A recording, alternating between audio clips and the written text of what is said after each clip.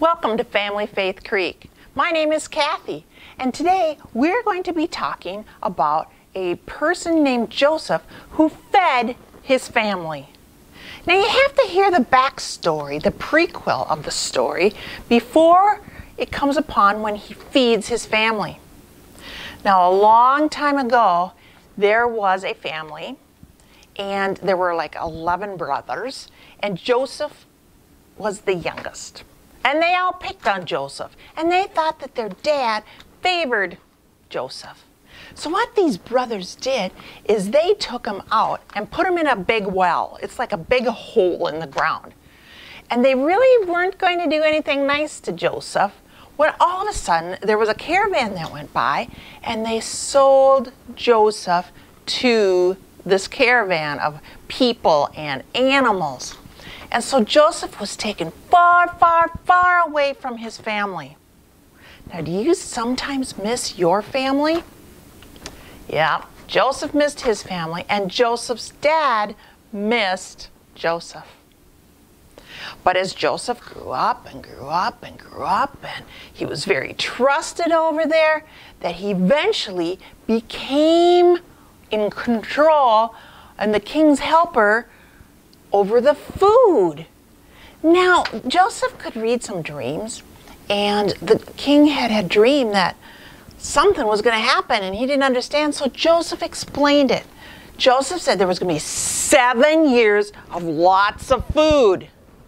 Seven years. And to store up all these foods into big containers, big buildings, and hold them.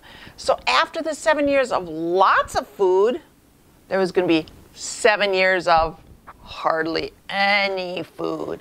That's called a famine. Famines still happen in different countries. It could be caused by no rain or the bugs eating all the crops. Anyway, Joseph was in charge of all of this food and he would dole it out to help different families, different countries to help with the food. Well, his brothers, the country they lived in, which was near Egypt, and that's where Egypt, uh, Joseph was, came to ask for help and for food. And they did not recognize Joseph. And Joseph knew right away that that was his family. And Joseph, he helped and fed his whole family and gave them food and sent it back to their country. He loved his family, and he forgave his family. God, he loves us so much too, and he loved Joseph's family, and he guided Joseph along the way. Well, God guides us too, and he loves us, and he provides food for us. When you're eating supper tonight, you think of Joseph and how he loved his family and he forgave his family for what they did to him way back when he was little.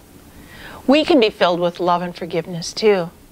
And something else we can do is reaching out this week is you can go to the grocery store, buy some food, and take it to your local food pantry, food shelf to help others who are in need of food.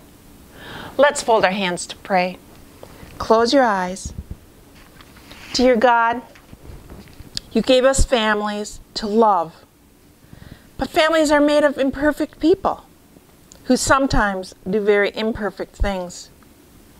You call us to be responsible for our actions, to amend when we mess up, and forgive.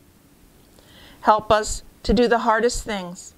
Help us in our families to forgive those and also show love to all those around us, that we may go out into the world and give love and forgiveness to others.